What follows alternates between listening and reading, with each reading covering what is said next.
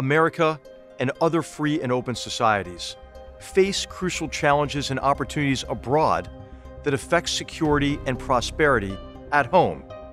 This is a series of conversations with guests who bring deep understanding of today's battlegrounds and creative ideas about how to compete, overcome challenges, capitalize on opportunities, and secure a better future. I am H.R. McMaster. This is Battlegrounds.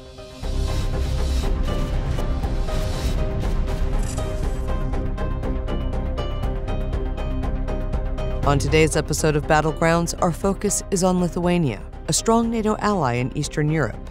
Our guest is Ingrida Šimonytė, Prime Minister of Lithuania.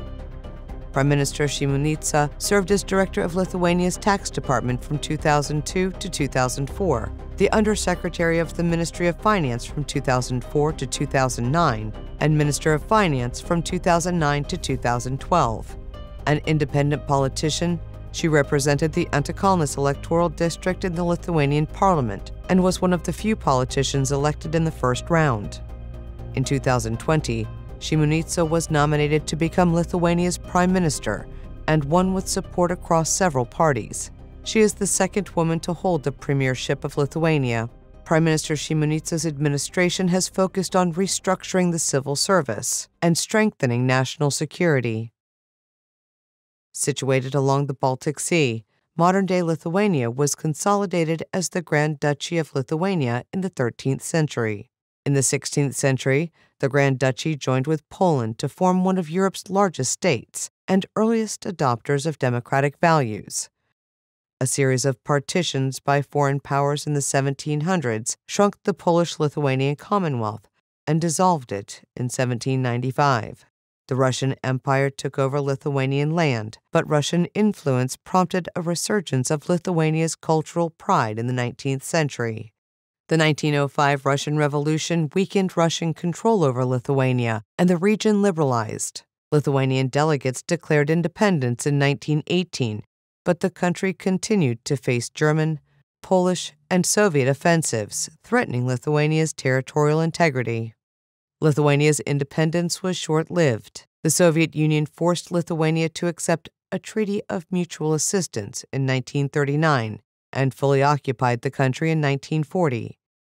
In June 1940, the United States issued the Sumner Welles Declaration, condemning the Soviet Union's illegal occupation and annexation of the Baltic states, which became the centerpiece of U.S. non recognition policy during the Cold War. From 1941 to 1944, Nazi Germany occupied Lithuania, brutally killing nearly all Lithuanian Jews. After 1944, the Soviet Union seized Lithuania once again. Roughly 30,000 Lithuanians, based largely in the countryside, fought a nine year guerrilla war for independence. The Soviets enacted repressive measures, reinstituted deportations to Siberia and engaged in a massive Russification campaign that lasted until the Soviet government initiated its thaw under Premier Nikita Khrushchev following Joseph Stalin's death in 1953. Over the following decades, Lithuania underwent large scale industrialization and urbanization. Lithuania became the first Soviet state to restore independence when its parliament declared independence on March 11, 1990. The next year, Lithuania codified a new constitution and joined the United Nations. In the 1990s, Lithuania signed friendship and cooperation treaties with Poland and Russia. Throughout the early 2000s, Lithuania joined a number of continent wide and international coalitions, including the WTO in 2001, NATO and the EU in 2004, and OECD in 2018. In 2022, the United States and Lithuania celebrated their 100th anniversary of diplomatic relations. The United States and Lithuania are NATO allies with strong security and defense partnership. They are strategic partners on issues including energy independence, democracy, Russia, Ukraine, and support to Taiwan. Lithuania was among the first allies to offer solidarity and support to the United States after the 9 11 attacks and it led the provincial reconstruction team in Afghanistan's Ghor province from 2005 to 2013. A large Lithuanian diaspora in the United States actively contributed to Lithuania's freedom fight, bolstering the country's relations following independence, and continues to reinforce relations today. We welcome Prime Minister Šimonytė to discuss the future of European security, energy security, the future of NATO, Russia's brutal reinvasion of Ukraine and aggression against Europe and the West, and prospects for strengthening the free world for the long competition against authoritarianism.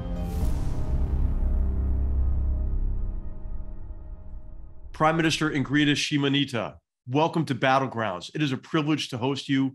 Thank you for making time for our audience and me at a, at a very busy and, and critical time thank you for having me on this uh, on this debate, and I think uh, it is a, a very uh, good time to try to uh, explain maybe sometimes things that are not so obvious for people who are a little bit uh, further from from the place where I live, and uh, maybe sometimes things that we do seem to be. Um, um, worth explanation or or worth some uh, some uh, additional discussion. Although, um, ironically, we live in a in a times where it's so often, you know, we we have a a situation where we have the right to say we've told you so and this is you know a very a very bad feeling i must say because if um, somebody would have wanted to be wrong. So it's us who would have been uh, happy, uh, much happier than we are now uh, if we were wrong about our um, view on uh, what might happen in Europe. How dangerous is this uh, illusion of Wandel durch Handel with uh, Putin and attempt to trade him into civilization, something that was very uh, very successful for countries like my who after occupation were sort of hungry, you know, to become part of the Western world because we always thought we belonged there. So uh, for us, this was a natural transition. We were very quick and and, and fast in sort of uh, adapting our legislation, uh, encouraging freedom of speech, uh, honoring human rights, um, independence of courts, anything that is, you know, the, the values, the, the values of a, of a democracy. Russia was never even uh, sincere in, in this, or maybe in the beginning of 90s, you know. But I think what was not done uh, at that time um, the country and the nation had no uh, obligation to rethink its past. And what we see now is this, you know, rebirth of this grandeur, if you might use this, you know, a word, what what what they always sort of were uh, saying and claiming about themselves that they are the victorious nation of the Second World War, and they were portraying it as if they did it themselves, as if there were no United States, no land lease, no Western partners, no allies, no nobody. It was just Russia who, who won against Nazis. And you know this this thing that the Stalinism uh, crimes were never fought through. There was no real reconciliation with what happened, for example, to nations like mine who've been exterminated, sent over to Siberia, deported, uh, sent to jails, and and what whatnot. I mean, this is unfortunately now is is fueling this uh, this war that I think many of us uh, were at least willing not to see on the on, on the soil of Europe you, you said at the outset, you know, that you are much closer than, than we are to the to the problem of Russia. In fact, you're one of only four NATO countries that border Russia, and and Lithuania's been a strong voice about what I, I agree with you was a delusion that Vladimir Putin, having been welcomed into the international community, being able to sell gas and, and oil, for example, to, to Germany and, and the rest of Europe, would see that it was to his benefit eh, to to uh, uh, to play by the rules, right, and to stop the sustained campaign of subversion. Uh, on this uh, in this series, we have this theme called strategic narcissism. We define that as our tendency to define the world only in relation to us, and assume that we would what we would like to do or not do is decisive toward achieving the desired outcome. And, and the corrective to that is strategic empathy to view this complex problem set associated with the revanchist, hyper-nationalist Kremlin through the perspective of others. And there's nobody better than you to help us with that. You've taken such a strong stand in defense of democracy in, in Lithuania. Your country's provided the most support of any country as a percentage of, of GDP to the Ukrainians. And but more broadly, you know, you've, you've, you've supported the idea that people should have a say in how they're governed uh, in neighboring Belarus, for example, and in Russia itself, and as far as away as Taiwan. So you've given asylum to to more than 10,000 democracy activists from, from Russia and Belarus. Could you maybe explain to our viewers why you and your country prioritize advocacy for democracy and freedom? Well, um, I must say that, uh, you know, Lithuania is not a huge country by territory or by population. We might think that we're great, but it's it's different from you know from a populous country with a big territory. And what what I think is important for countries like my country is that it's not just the alliances, not just you know the, the, the grouping of countries where you try to be with the ones of uh, that are similar to you, but the whole concept of the rules-based world is something that is uh, a safety net for countries like mine because we do not have the comfort of you know of bilateral dealings right big countries often do have this privilege of sort of trying to bilaterally uh, find a solution. And that's why i think uh, germany had this uh, has taken this risk or because it was not just about buying gas you know or, or, buying oil because many countries were buying gas and buying oil. It's a problem that the economy itself became hooked on on on the um, on, on the cheap, supplies cheap natural gas right yeah on, on the supplies of russian gas and that became uh, a very significant weakness of economy as today, although it was seen like a, you know a strength of exports as a couple of years before. But again, I think that uh, Germany thought that we will find a way to deal with Russia if something happens.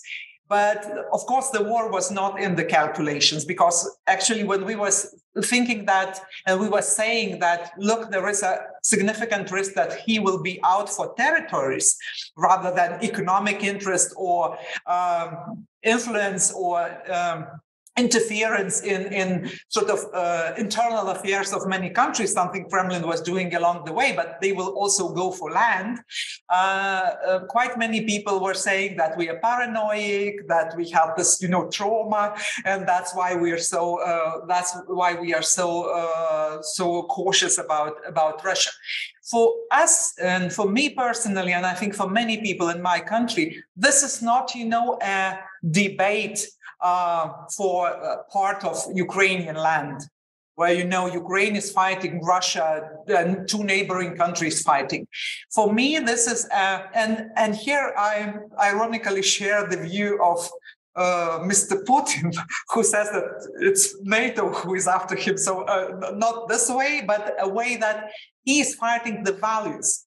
He is fighting the whole concept of the democracy, of the democratic world, of the idea that people are uh, free to choose whatever way they want their country to uh, uh, to develop. And if they want to be part of Europe, European Union, NATO, or other alliances, then this is the sovereign right of sovereign people. And this is not for Putin to dictate just because it is a neighboring country and he thinks this is his sphere of influence. So I don't want to be his sphere of influence. Nobody in this country wants. And, and that's why we are so, uh, so um, voiceful to, to make clear that this is not a, it is happening on Ukrainian soil. But the war is not of Ukrainians, you know. This is the war of democracies against uh, totalitarian, authoritarian regimes. You know, Prime Minister, we talk a lot about black swans, right? These unanticipated events that have significant consequences. I think the reinvasion of Ukraine was a pink flamingo. I mean, it was right in front of us, and it was quite obvious. But if you if you consider what uh, what Putin has done over many years, right? This is the sustained campaign of political subversion and disinformation, the you know the the massive cyber attacks going back to 2003 on on especially Estonia, but on, on your nation and others as well. The invasion of Georgia in 2007.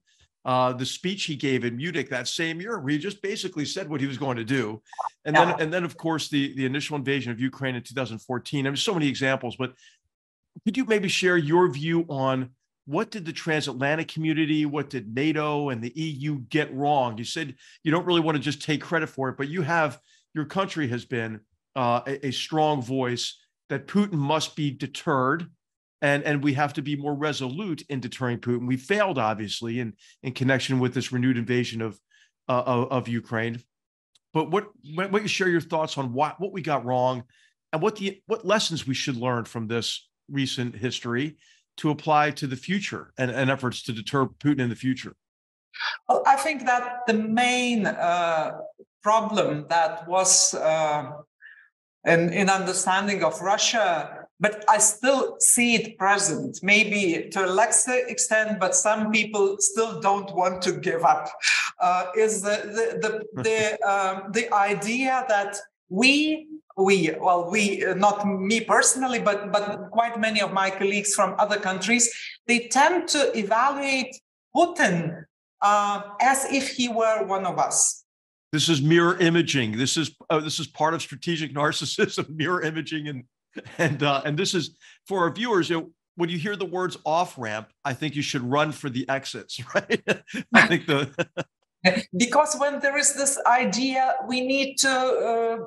Uh, save face uh, of russia we do not we must not let russia lose we must not let Ukraine lose, but we also must not let Russia lose because this is humiliating and stuff. Uh, because Putin has to save face. I mean, he's not one of us. He does not have to face neither his population, nor free press, no opposition, no uh, fair trial uh, and, and, and, and court if, if need may be. Nothing of the things we have in our part of the world. And if he wants to portray something as victory in his propaganda uh, media, then he will be very successful because there was a a survey uh, a week ago, I think, in Russia, and uh, people were asked, "Do you want this war to stop, or do you want this war to continue? Uh, and of course, you might say that you know the polls are not really a very uh, much telling in a, in a in a country like Russia under circumstances like they are. But still, I think this is quite illustrative because uh, there was like quarter of people who were saying we want this war to stop, uh, quarter saying we want this war to continue, and then the rest were saying whatever Putin decides. So um, ironically, this this this is very sad to, to sort of to, to, to get the sense how, how how people feel. But this is also means that Putin does not have to save his face um, in front of anyone. I mean, whatever face he wants, he draws this face, and that's it. So I think that was the, the biggest illusion, trying to to sort of judge him like he's uh, he's under the normal uh, political circumstances uh, like he would be a German chancellor or prime minister of Spain or, or, or, or Norway, which is not the case. So definitely uh, definitely this still uh, has has implications but i think if if we speak about the lessons for the future and and the and the situation uh, what what comes next first and foremost i think that we must do whatever it takes so that Russia loses this war. And there should be no, you know, like way of going around this concept and saying that we, we should do something in between. You know, no nobody's losing and nobody's winning. Right. I mean, Ukraine must win this war. And if Ukraine wins this war, it means Russia loses. And what happens next? I don't know because there are quite many scenarios, not all of them good or quite few of them good, as a matter of fact. But what if there is at some point a situation where uh, Western countries will have to offer something like Marshall Plan to Russia? Uh, this definitely must come with the condition of uh, Russian nation um, sort of getting in in some uh, in some uh, rational um, uh, rethinking of their past because otherwise this will be just buying time for, for, for some next period and, and this will come up again because there will be another leader who will again speculate on the sentiment that people have because he will fail to uh, provide a decent uh, level of living and welfare and public services and everything. So he will ignite this uh, imperialistic ambition uh, time and again because this was Russian history was like that throughout I know centuries. You know, Prime Minister, you're making me think of a of a quote uh, from George Orwell that he who controls the the present controls the past, and he who controls the past controls the future. And authoritarian regimes manipulate the past to stoke this sort of jingoistic nationalist sentiment and to protect themselves from criticism. We see that going on now with the, the Chinese Communist Party Congress and and uh, and that authoritarian regime. Lithuania has taken a strong stance on China, Chinese uh, uh Communist Party authoritarianism uh, and aggression. Now, it, it, does seem we are, that we are in a competition between authoritarianism and and democracy, and and of course, for us to prevail, we have to maintain our will. You've already touched on this a little bit, but what is your assessment of uh, of of not only just your country, but you're a member of the EU and of NATO?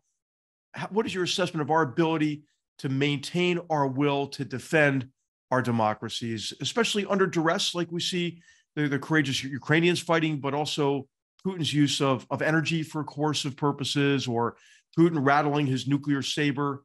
Do you think we have the will to prevail in this competition?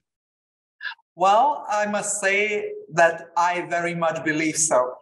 And it's not just a matter of belief, because I think there is a couple of things that uh, Putin miscalculated when he started this invasion. First and foremost, of course, he miscalculated the um, the Ukrainian um, uh, strength uh, and their will and their uh, commitment to defend their land, which is, I think, sort of a major uh, a major thing here.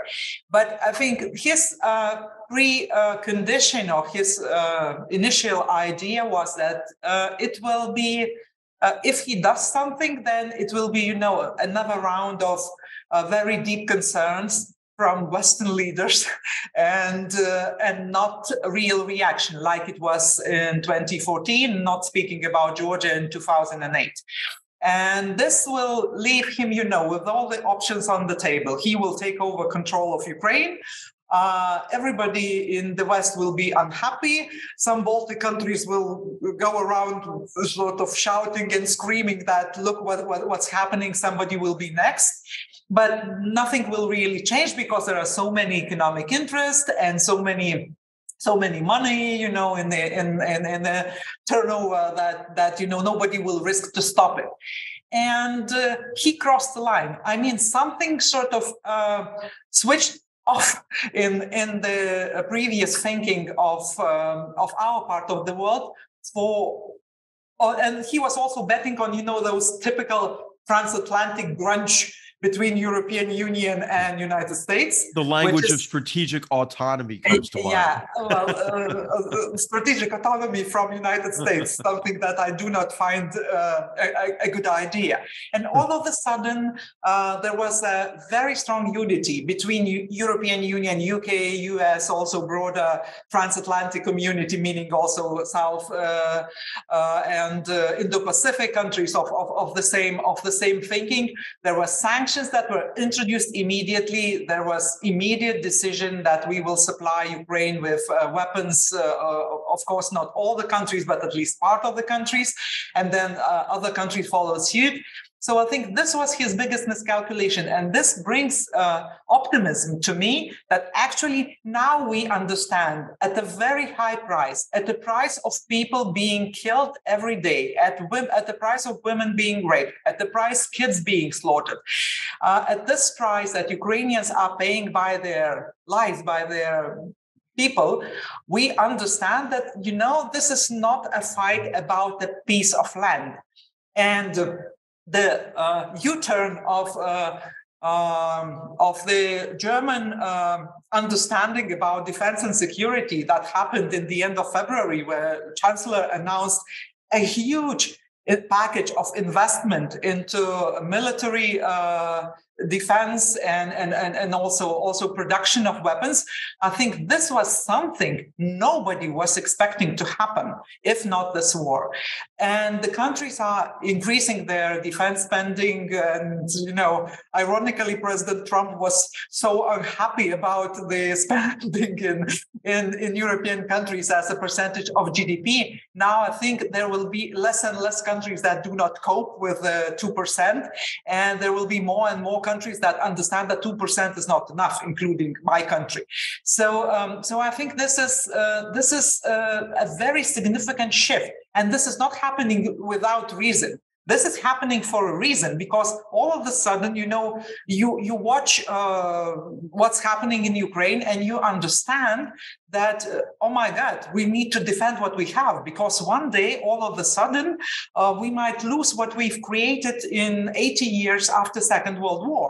My country in 30 years after occupation but the broader europe 80 years of after second world war were the years of you know of uh, uh, building the countries, um, increasing prosperity, building connectivity, everything about you know staying together, being richer, um, more experienced, and all of this. Suddenly, you understand that there is a moron in a in a red house that can actually uh, create uh, that can send your your previous life to just down down the road, and and you will have nothing you know, Prime Minister, you're making such an important point that the cost of deterring war is far less than the cost of war itself. And and uh, I just wonder what would have happened if all the capabilities that have been provided to Ukraine now to defend itself had been provided a few years ago.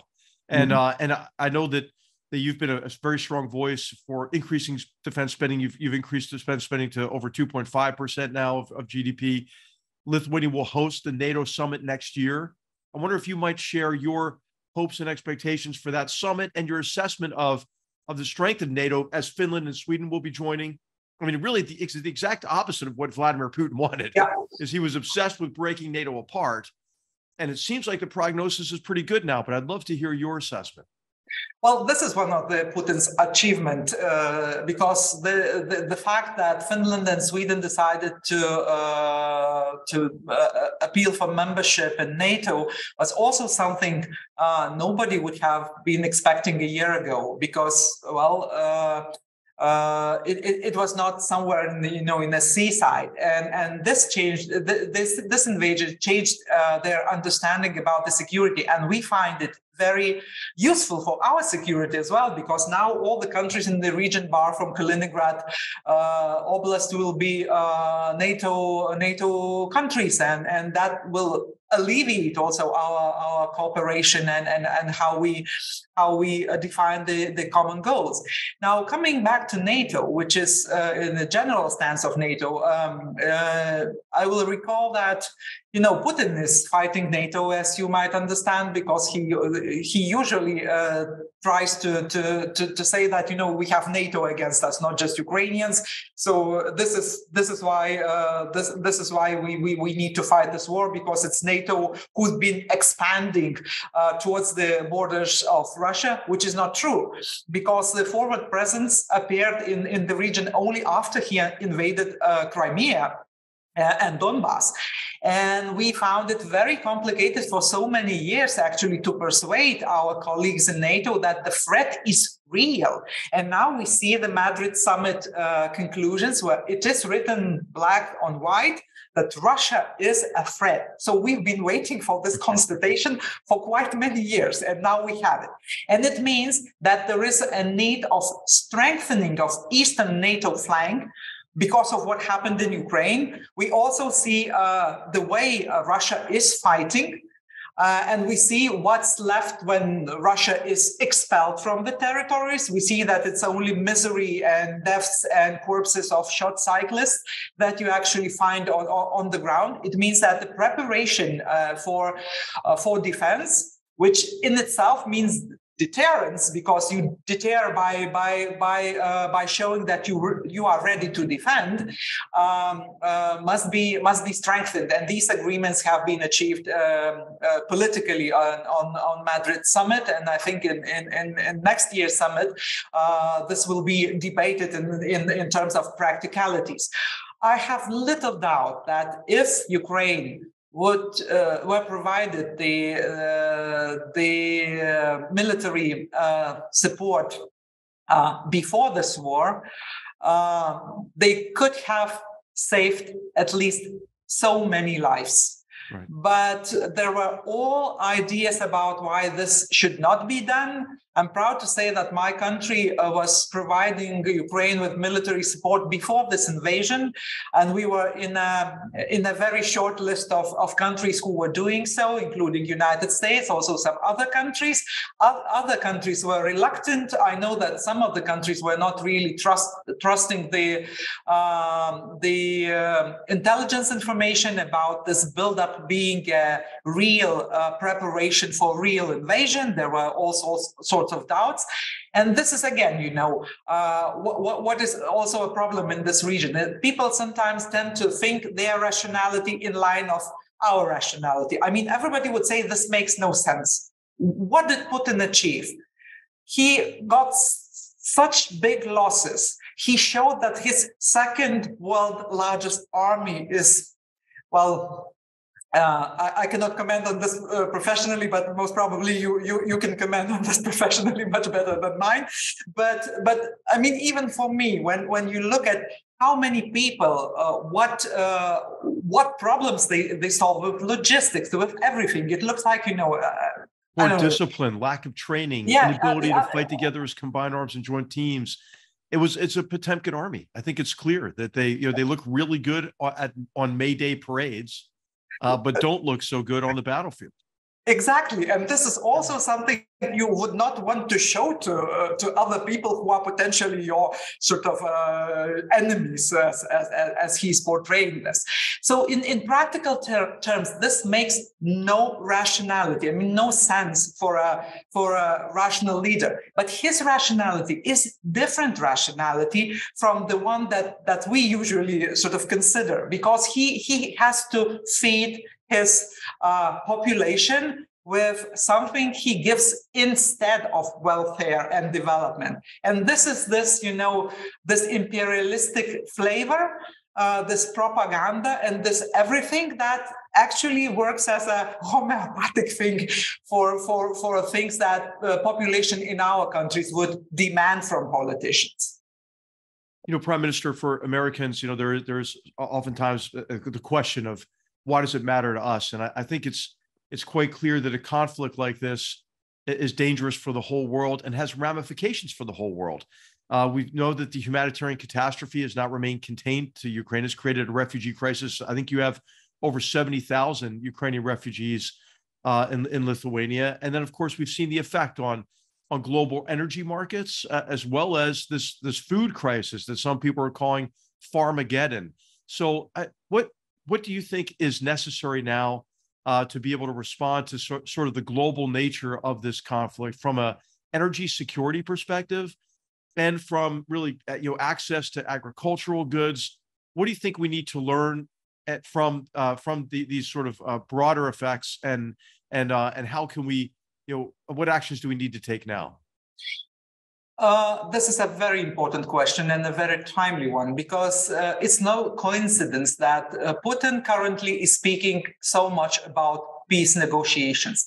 And he does not want peace, neither he wants negotiations. He wants that somebody would make uh, President Zelensky and Ukrainian government to uh, sort of uh, take this what, what, what happened on the ground as a fait accompli. So that because he he sees the losses he's suffering he sees this um, disaster with mobilization he sees that he has real problems with sort of uh, counteracting the uh, the uh, ukrainian uh, ukrainian army. So he wants some breathing space. And this we we can understand. And for this he tries to frighten us he tries to frighten us. You know, Europe will will freeze. Uh, you will have energy bills that you cannot sustain, and people will go bankrupt. Businesses will go bankrupt. And this is something he's feeding through the media channels or some political groups that are sympathetic to, to Putin. He is also uh, poisoning the global south with the idea that it's because of Europe and it's because of sanctions imposed by Europe. Uh, those countries uh, have high food price and there is a, a, a significant lack of, of supply for wheat, uh, corn, and, and, and other basic, basic food. So I think what we need to do, we definitely cannot blink because if we blink, then it will mean that we will not be able to sustain our ground because uh, appeasement never bring peace. This I know for sure. This will never bring peace with Putin. So what he needs to know that we are a strong community. We have a significant level of welfare to shelter our people and our businesses from this problem. At the same time, we must do everything we can to make this uh, process of decoupling from Russian energy irreversible because if there is an illusion that we will be able to come back you know to business as usual I would claim this is an illusion because uh, it might happen maybe 50 years from now, but but not in a in a very foreseeable future. And given that Europe is on the track to get rid of fossil fuels whatsoever, so we don't need to waste uh, time. We just need to move fast forward with our uh, green agenda, renewables, and and at the same time looking for reliable partners that we have that can can support us with uh, with gas and, and and oil and everything.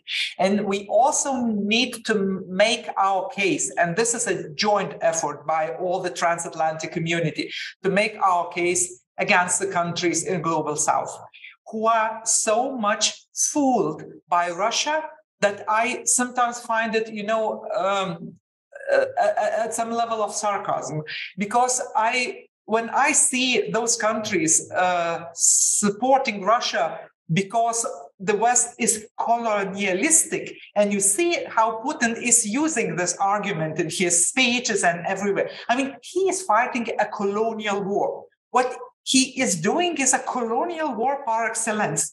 And so nobody in, in Africa, in Middle East, have no good reasons actually to to uh, to support Russia in this debate unless the leaders of those countries are um, equal war criminals like uh, Assad in, in, in, Syria or or uh, or uh, Kim in, in North Korea.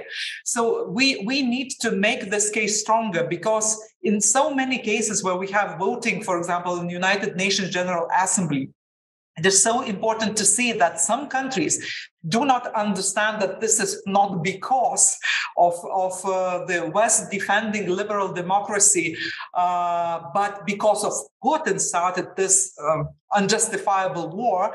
Uh, we have those repercussions in, in, in, food markets and energy markets. And we simply need to provide help where, where we can do so.